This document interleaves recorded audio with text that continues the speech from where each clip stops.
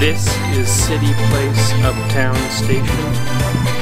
Believe it or not, an actual subway station in Dallas, Texas.